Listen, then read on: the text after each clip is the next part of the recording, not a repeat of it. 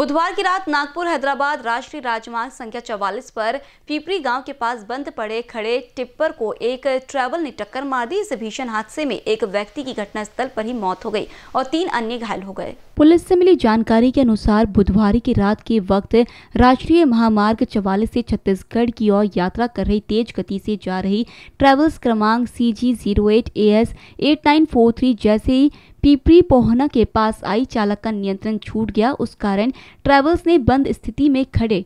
Tipper क्रमांक M H three four A V को पीछे से ज़बरदस्त टक्कर मार दी। इस दर्दनाक हादसे में सेकंड ड्राइवर जगत बहादुर सिंह निवासी चाँदखुरी जिला दुर्ग राज्य छत्तीसगढ़ अट्ठावन वर्षीय की मौत घटनास्थल पर ही हो गई। हादसे में कम से कम तीन लोगों घायल हुए हैं। पीपरी पहुना के नागरिकों को दुर्घटना की सूचना मिलते ही वे मौके पर पहुँचे और यात्रियों को बाहर निकाला।